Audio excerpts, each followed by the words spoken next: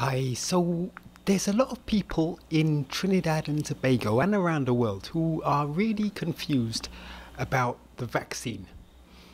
Some are undecided, some are pro vaccine, some are anti vaccine. So I asked a few of my KVTV hosts to answer a few questions. Question number one Did you ever had COVID before? I have never had COVID prior to taking the vaccine. No, I've never had COVID. Did I ever have COVID prior to taking the vaccine? Yes, no, or don't know. That's a kind of a, a loaded question. But um, the answer is uh, essentially I don't know. So I'm not trying to judge anyone with their answers. I'm just giving you their answers as they told it to me. So if you answered yes to question one, how do you know if you've had COVID before? Um, well, based on what the information that is out there, um, I've never experienced the symptoms. Um, the common symptoms like the the body pains. Some persons get sore throat. Um, a loss of appetite, loss of smell, those sorts of things. I have not experienced it, so for me, that would say that I possibly have never contracted it. The answer is uh, essentially I don't know if I had, and if I knew that I had COVID, I would not take the vaccine, since doing so would diminish my ability or the ability of my immune system to respond to other pathogens and even strains and mutations of COVID itself. I know I didn't have COVID prior to taking the vaccine because I took a test and it came back negative. So question number three is have you ever been tested for COVID before? And um, I would have thought that would have been pertinent when you're taking a vaccine. Um, let's check on the answers. Uh, have I been tested for COVID? And the answer is absolutely not. Uh, and if I desire to be tested, I would take an antibody blood test and not subject myself to a PCR test by having anyone stick a swab sterilized with ethylene oxide, a known carcinogen. No, I've never tested for it or never had reason to. So you may or may not have gathered that the host here are split into different categories. We have the vaccinated, the undecided, and the anti-vaxxers, and they'll be asked obviously slightly different questions. Yes, I was asked if I had COVID prior to taking the vaccine. Question four Do you think a non vaccinated person can pass on COVID to a vaccinated person?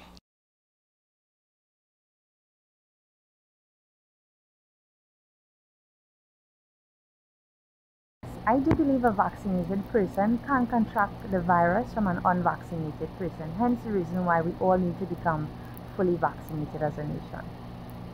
Yes, a non-vaccinated person can pass it on to a vaccinated person. Um, being vaccinated doesn't prevent you from from getting the virus, but what they're saying is it may lessen the complications associated with getting it.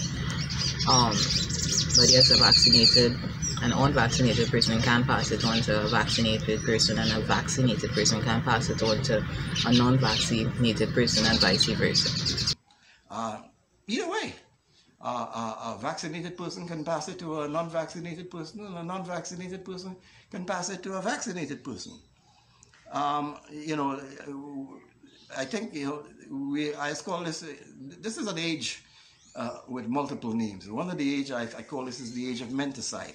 So I'd like to introduce you to Dr. Suneel Dhand, who's an internal medicine physician who is from the UK, but I believe he works in the USA. And he posts a lot of videos, not just about COVID, but also fitness, diet, etc.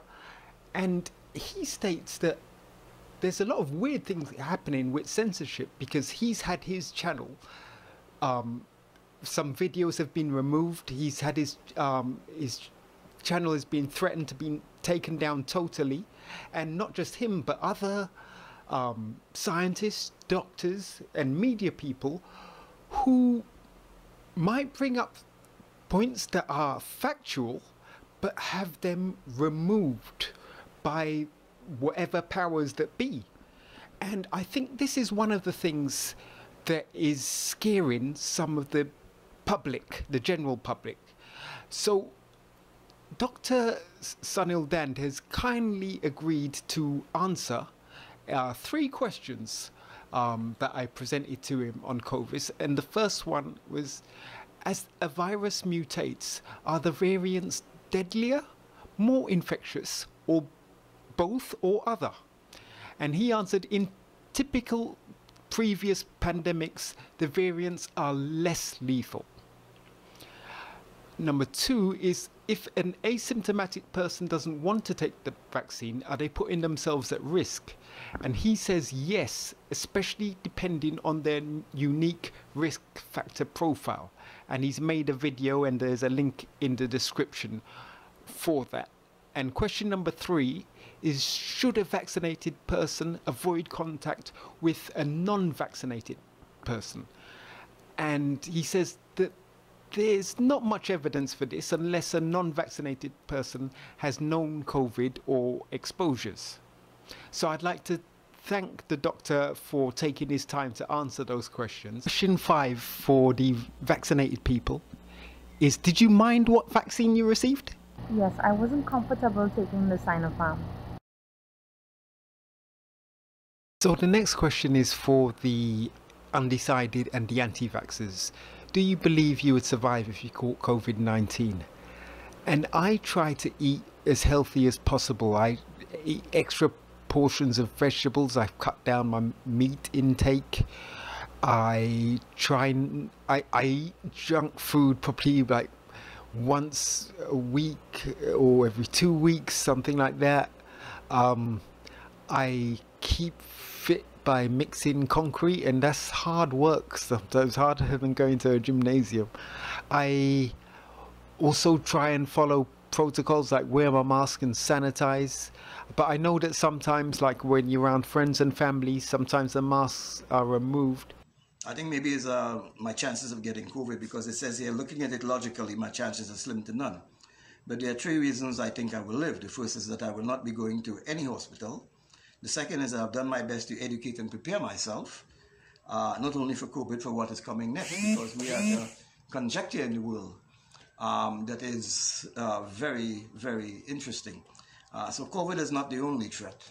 Uh, there is famine, uh, on the horizon. There is war um, on the horizon. There's the collapse of the American empire, which is inevitable as surely as the sun does shine. And um, lastly, uh, one of the reasons uh, is that I've instru- I followed instructions given in Revelation that I should come out of her so that I may not be a partaker of her plagues. I think based on the fact that it is a virus that affects um, your immunity, your immune system um, roughly, that once your immune system is is up to standard, up to par, and well, persons who don't have any underlying issues have a higher likelihood of being able to survive. So, I think yes, um, you know, it is there is a high chance of surviving it. Um, but I think a lot of persons who have passed away, as we had we have seen locally, basically, um, they have reported that those persons were either older or had um, a lot of underlying issues.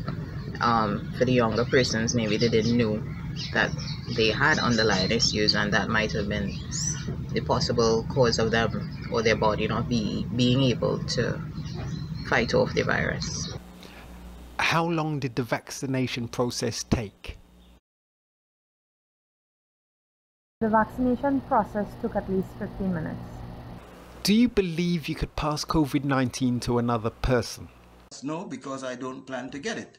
But anyone can pass it to anyone. I'm single and I have stopped fucking. Yes, I have stopped fucking. I, I have no interest in visiting relationships. Yes, I believe I can pass it on at this point. Anybody, um, as one of the other questions asked, either vaccinated or unvaccinated, yes. Yes, this is the most infectious, this is, is, is more contagious than the flu, as far as what I can see. So, yes, what was the main reason you took the vaccine? The main reason I took the vaccine was for health reasons and self-preservation.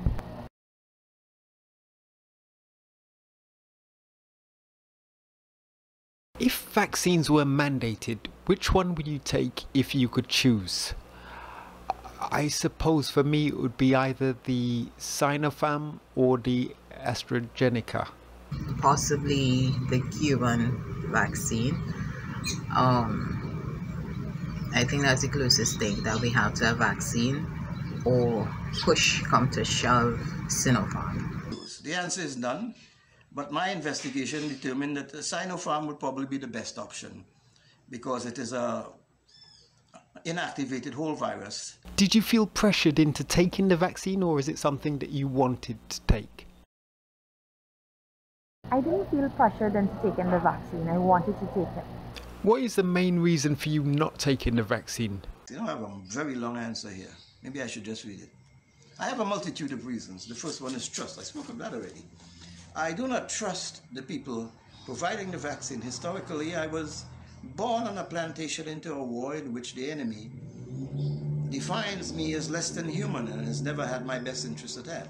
I suppose like I'm being swamped with information from both sides and I tell you for me just making this video has me even more confused than ever because I'm doing a lot of research now and um it is it is confusing uh, when when you really delve into it. But what I do notice that um, 99 it's very hard for me to find a doctor that says do not take the vaccine. So that is more encouraging. One of my main reasons for not taking it is I think that it's still too early. I think there's still not enough data as to the side effects um, and adverse effects associated with the vaccine. Did you have any side effects from the first dose? Yes, after taking the AstraZeneca, I experienced mild headaches. Were you looking forward to your second dose? I am in fact looking forward to my second dose. Would you prefer to be served by a vaccinated or non-vaccinated salesperson? Um, as long as COVID protocols are followed, uh, that that wouldn't really bother me. Would I prefer to be jabbed by a vaccinated or unvaccinated person? Well, as far as I am concerned, all vaccinated persons should be wrong. Yes, it doesn't matter to me um, if I'm served by a vaccinated or unvaccinated person. Um, I think we're reaching a point where it's becoming, um, it's basically discrimination against persons, against their choice. What do you think of people that take the vaccine? Well, some of them are my best friends, and I, I worry about them, which is why another reason I didn't want to speak on this subject. Um, because the people closest to me have already made their decision. Um, and then I speak here about scripture, the fact that um, there's a scripture in Matthew that says that those who seek to save their lives shall surely lose it. I think people that take the vaccine are just our people, and people have to make choices and decisions based on their circumstances. I know some persons might have taken it because of work. I think that if you want to take the vaccine, take the vaccine for sure. And for the second doses, was the process just as simple as the first dose? Would you advise someone to take the vaccine? Yes, I would strongly advise everyone be fully vaccinated for their own benefit. What is the best way to not get COVID? So, yeah, just follow the protocols. Sanitize, um, wear your mask. Uh, I, I think people who don't take this thing seriously because it is real um, and I think the best way not to to get COVID is to take treat it very seriously. But I think social distancing ensuring that you're at least six feet apart, washing of your hands, um, trying to eat as best as you can, trying to exercise, um, building your immune system, resting enough. Um, I think all of these little things are contributors to helping you have a chance at um, not getting COVID or ensuring that your immune system is ready. Well, me, um, I personally say to isolate to operate. Um, listen to the science. The science says zinc, uh, vitamin D3, um, fruits and vegetables, proper fruits and vegetables, um, getting um, sunshine, getting exercise, um, a whole bunch of other things that could, you know, tune up your immune system. What would make you take the vaccine? More information, um, more realistic data regarding side effects, um, more time in terms of them being able to work out the kinks with the vaccines themselves. Well, not even at the point of a gun. Um, I don't have to work, and even if I did have to work, I, I can be a digital nomad. I can work remotely. I have traveled, so I, I don't really need to go and travel. Uh, there are some other places I would have loved to go on. Um, if the state mandates that you need to be vaccinated to, vaccinated to go to the grocery or to the bank, well, then that raises a, a question of, of being in a state of war, personally, and becoming an enemy of the state. Because if you, if you decide that I can't eat, or I can't access the money that I work very hard for, um, I would first of all, you know, try to be as wise as a serpent and peaceful as a dove, a dove, as they would say. And, and I know this is Trinidad and Tobago, this is the Wild Wild West. Um, there's always a way to circumvent whatever it is happening in the land. So if I had to travel, then yes, I would definitely obviously have to take the vaccine and um work. It's very interesting to see what's going to be happening with um these potential mandated vaccines.